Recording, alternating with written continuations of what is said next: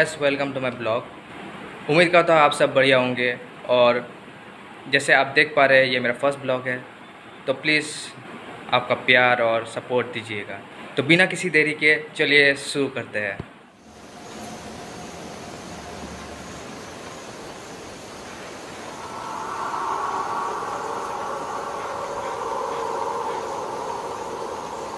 हम लोग लोकेशन में पहुँच गए हैं और मेरे साथ मेरे दो दोस्त आए हैं एक्सप्लोर करने के लिए मेरे साथ। सो so, ये सोहान है और ये अनिर्बान है। तो चलिए हम सब मिल के एक्सप्लोर करते हैं इस न्यू लोकेशन को। सो so, आप सब जैसे देख पा रहे हैं यही है वो एबंडेंट बंगलो तो चलिए अंदर जाते हैं। तो ये रहा दो मेन गेट्स है इधर। खुल नहीं रहा ये खुल नहीं रहा है? बंद है। ये बंद है? ये खुल ही नहीं रहा है। एकदम से बंद है। सो गाइस ये जो मेन गेट है ये खुल नहीं रहा है। सो अभी क्या करें? और ये सेकंड जो गेट है इसका तो आप देख पा रहे हैं ये ये तो ये तो उसका सेट टूट चुका है। तो अभी इसका क्या बैकडोर है कि नहीं? क्या लगता है? तो होगा होना चाहिए। क्योंकि ये बहुत पुराना बिल्डिंग है और ऊपर से पुराना भी है तो रहना चाहिए पीछे में। देखते हैं बैकडोर है तो चलिए देखते हैं बैकडोर है कि नहीं। हम जैसे हम लोग देखे कि सामने का दरवाज़ा थोड़ा सा ख़राब हो चुका है और थोड़ा सा टूट गया है तो हम लोग बैक साइड आए हैं बंगलों के। तो अभी जैसे अभी हम लोग देखे कि डोर ओपन है इधर का तो चलिए उधर जाते हैं और एक्सप्लोर करते हैं कि अंदर में क्या क्या है और क्या क्या नहीं है। सो so, जैसे मेरे पीछे देख पा रहे हैं यही है बैक डोर तो और खुला भी है तो चलिए। सो so, अभी यही बैक डोर था और बैक डोर से घुसते ही एक बहुत बड़ा हॉल जैसा दिखा हम लोग को। बहुत बड़ा ही है। तो नहीं पता क्या होता होगा इधर में। क्या होता होगा? तो सोहान यहाँ पे मीटिंग का हॉल है यार। मीटिंग का हॉल होगा? हाँ मीटिंग का तो मेरे को लगता होगा शायद इधर शायद मीटिंग रूम ही होता होगा इधर में। तो चलिए और भी अंदर एक्सप्लोर करते हैं क्या क्या है कि नहीं है। जैसे मैं बोला था कि सामने का जो मेन गेट था वो बंद था तो ये देखिए हालत मेन गेट का क्या हाल हो चुका है। ये जो गेट देख पा रहे ये ग्रिल गेट ये पूरा लॉक हो चुका है पूरा। इसको खोल भी नहीं पाएँगे, इसलिए हम लोग बैक डोर से आए। तो चलिए पहले ग्राउंड फ्लोर ही एक्सप्लोर करते हैं।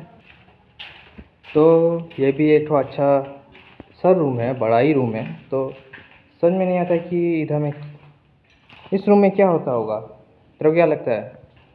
मेरे को शायद लगता होगा शायद ये शायद जो वर्कर्स होंगे उन लोग का रूम होगा ये। अभी अभी जो रूम हम हम लोग आए सच्ची में बहुत ही बड़ा है। ओ भाई। इतना बड़ा रूम है। ओ भाई साहब ये देखो कितना बड़ा रूम है बे ये देखो आग फेंकने का भी गेट है यहाँ पे ये दो डाइनिंग टेबल शायद मेरे को लगता होगा ये यहाँ पर।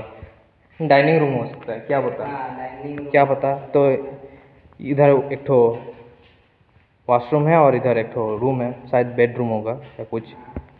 तो चलिए उस साइड क्या है? रूम को कितना बड़ा रूम है ये भी? सच्ची में। और यहाँ पर भी एक ठो एंट्रेंस डोर है। है। ये शायद इसका जो सेट है वो गिर चुका है तो ये भी हम लोग इधर से एंट्री नहीं कर पाए। तो ये शायद ये भी अलग रूम है जो उस बड़े वाले रूम से कनेक्टेड है। तो यहाँ पर शायद क्या हो सकता हो सकता है। हाँ किचन ही हो सकता है इधर। हाँ, इधर से शायद जाते थे वहाँ पे वो वो तो शायद डाइनिंग हॉल था। हाँ। तो ये रहा ये शायद किचन तो ये यहाँ ये वाला रूम शायद डाइनिंग हॉल था। तो ये जो रूम था ये डाइनिंग रूम है। और तो वो रूम जो था उस समय हम लोग बोल रहे थे वो डाइनिंग रूम है क्योंकि वहाँ पर डाइनिंग टेबल सब वो एक्चुअली हो सकता है वो ड्राइंग है ड्राइंग रूम ड्राइंग रूम हो सकता है। तो नीचे का हम लोग कवर कर चुके हैं। अभी तो अभी अभी ऊपर जाने का वक्त है। तो चलिए मज़े से देखते हैं क्या क्या। मतलब कितना ऊपर में भी कितना बड़ा रूम्स होंगे और लाइक क्या क्या देखने को मिलेगा। ऊपर में भी बड़े बड़े या रूम तो देखने को मिलेंगे शायद। शायद क्या क्या पता कुछ भी हो सकता है यार। तो चलिए किसका वेट कर रहे चलिए मैं जैसे ये स्टेयर केस जैसे वुड से बना हुआ है। बट आजकल के घर में हम लोग जैसे देखते हैं फ़र्स्ट फ्लोर और सेकेंड फ्लोर पूरा घर सीमेंट से बना हुआ रहता है। पर ये क्या बोलते हैं स्टेयर केस भी सीमेंट से बना हुआ रहता है। बट जब सौ साल पुराना, जब ये बंगलो बना था और ये बंगलो हम लोग जो देख पा रहे हैं ग्राउंड फ्लोर पूरा सीमेंट से बना हुआ है। और ये स्टेयर केस और ये फ़र्स्ट फ्लोर ये ऊट सीमेंट बना हुआ है। तो सच में, अलग ही डिज़ाइन है और अलग ही लाइक क्रिएटिविटी है। क्योंकि फ़र्स्ट फ्लोर में लाइक हम लोग इधर जैसे इधर देख पा रहे हैं ये वुड है। ये वुड है प्लस इधर देख पा रहे हैं सीमेंट है। तो बहुत अच्छा कॉम्बिनेशन से ये घर बनाया गया है। तो ये शायद जैसे अभी ये देख पा रहे हैं ये शायद वॉकिंग वे हाँ। तो जैसे हम लोग अभी पूरा इधर एक्सट्रीम लेफ़्ट का रूम में आए हैं। तो जैसे ये रूम अच्छा है साइज़ भी अच्छा है, सब कुछ भी अच्छा है। बट इधर का, इस बंगलो का मैं सच्ची बोलूँ, इधर से व्यू मस्त है, सच्ची में। जैसे इधर से देख पा रहे हैं, हवा भी मस्त आ इधर से विंडो से भी आ रहा है, इधर सामने से भी आ रहा है। और सबसे अच्छी बाथरूम बाथरूम्स सही है। जैसे कि, जैसे ये देख पा रहे हैं ये वाला, जो अभी शायद थोड़ा सा गंदा दिख रहा है बट ऐसा डिज़ाइन वाला बाथरूम हमने कभी देखा नहीं है और जैसे ऐसा डिज़ाइन देख के हम लोग भी फ़र्स्ट सोचे मैं और सोहम मतलब सोहाल सोचे कि ऐसा डिज़ाइन तो ऐसे कभी देखे नहीं है। सो देखिएगा और एंजॉय कीजिए लाइक आपको कौन सा कौन सा रूम्स आपको अच्छा लग रहा है और लाइक कौन सा कौन सा रूम्स आपको रहने का मन कर रहा है और आपका लाइक बाथरूम्स भी देखिए, कैसा कैसा टाइप्स का है। तो ये मिडिल रूम है। मेरे को लग रहा है ये वो जो फ़र्स्ट रूम था, उससे थोड़ा सा बड़ा रूम है ये। तो इसका इसका ये है कि इसका बाथरूम छोटा है। ये छोटा ही बाथरूम है। बट ठीक ही ठीक ही है। मतलब थोड़ा सा अजीब लगा मेरे को। कि वो वाला रूम जो था वो छोटा है ठीक है? इस compare to this one but bathroom जो कंपेयर करेंगे वो वाला बाथरूम बड़ा है ये वाला बाथरूम छोटा है। वही मेरे को थोड़ा सा हँसी आ रहा है कि मैं ये कौन सा ड्रेस कैसा किस टाइप का डिज़ाइन है? बाथरूम आप देख के यकीन नहीं करेंगे कितना बड़ा रूम है।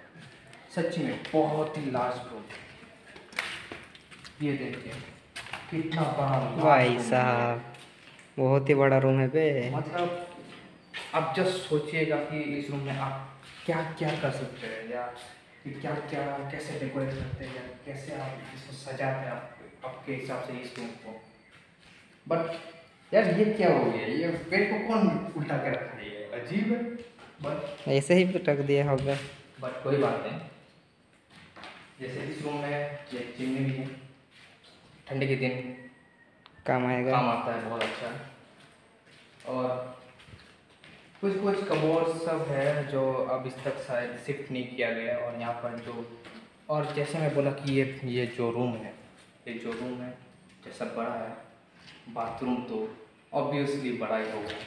तो चलिए देखते हैं बाथरूम। देखिए कितना बड़ा बाथरूम है।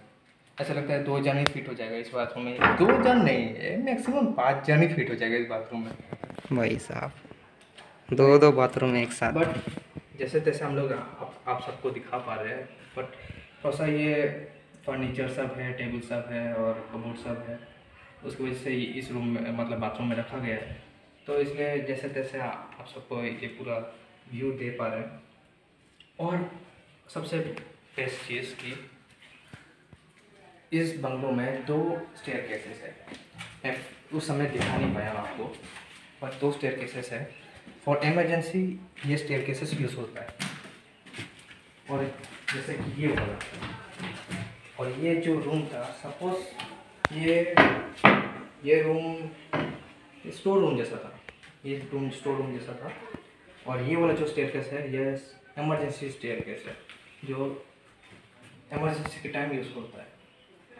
तो ये स्टेयर डायरेक्ट एकदम एंड जो एंट्रेंस है इस बंगलो का वहाँ तक ही लेके जाता है। चलिए इस स्टेयर से उतरते हम लोग। अगर मज़बूत हुआ तो ठीक है अगर मज़बूत नहीं हुआ तो गिर भी सकते हैं गारंटी नहीं है। कोई गारंटी नहीं है। चल फिर ट्राई ट्राई तो करना तो पड़ता पड़ता है। डर के आगे जीत है। है। हाँ तो ये थोड़ा सा लाइक छोटा स्टेयर केस है और बहुत राउंड टाइप स्टेयर केस है। अलग टाइप का स्टेयर केस है। तो इसमें ये है कि अगर आप हड़बड़ी में जाएँगे तो वहाँ माथा घूम सकते हैं आप लोग का। और अगर फिसल गए तो पैर सब टूट सकता है। तो जैसे आपको जैसे मैंने आपको बोला था कि ये स्टेयर केस जो था इमरजेंसी स्टेयर केस एकदम ये डायरेक्ट मेन एंट्रेंस यही है मेन एंट्रेंस उसके साथ एकदम पूरा कनेक्टेड है। तो यही यही एकदम इमरजेंसी स्टेयर केस है। तो तो यही था इस बंगलो का पूरा इंटीरियर का एक्सप्लोर और जैसे आप देख पा रहे हैं कि ये बंगलो सौ साल पुराना हो चुका है, फिर भी अच्छे से टिका हुआ ये। मतलब इतना अच्छा टिका हुआ कि हम दोनों अभी एक्सप्लोर किए, ऊपर गए, फिर से इमरजेंसी स्टेयर से उतरे, फिर भी सेफली उतरे। अभी भी मज़बूत है, अभी भी स्ट्रॉन्ग है।